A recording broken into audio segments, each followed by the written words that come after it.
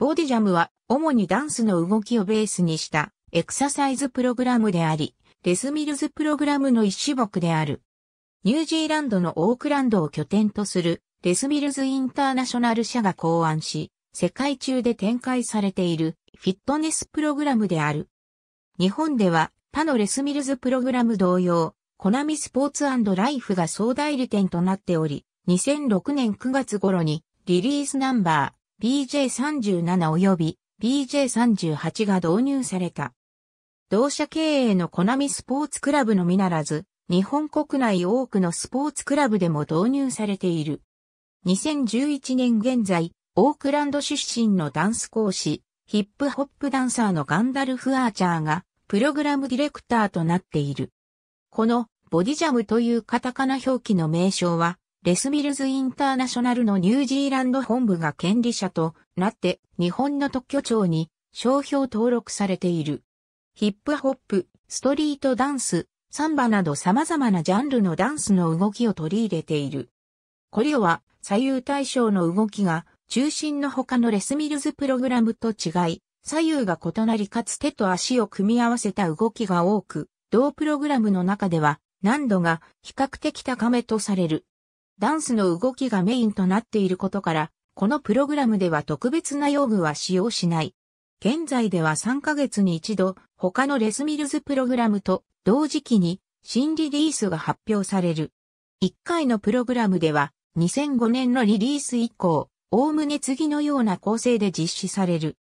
新リリースから間もない時期は、そのリリースナンバーの曲を全曲通して行われることが多いが、その時期を過ぎて、次のリリース発表の直前までは、バックナンバーを集めた構成で実施されることもある。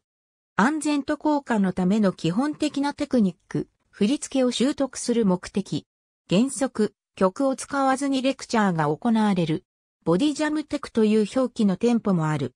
本国ニュージーランドのレッスミルズでは、ボディジャムクリニック、または、ボディジャムイントロと称する。日本では2011年6月に仮導入、同年9月より本格導入。30分間のクラス。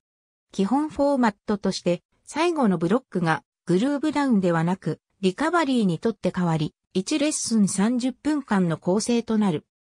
口述の60分のクラスが12曲前後の曲数で構成されるのに対し45部のクラスでは10曲前後で行われ、その際上記のプログラム構成のうちカーディオ1が短縮される場合が多い。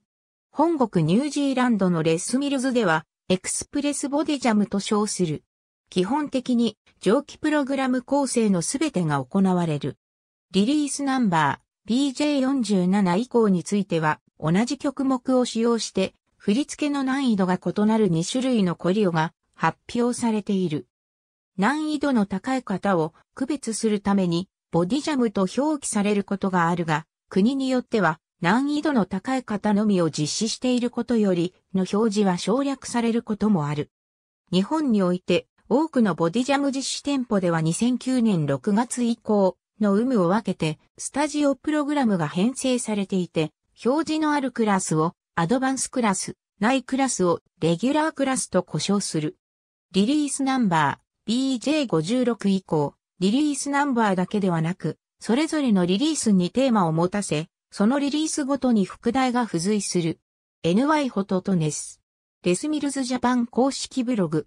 2011年8月19日閲覧。ありがとうございます。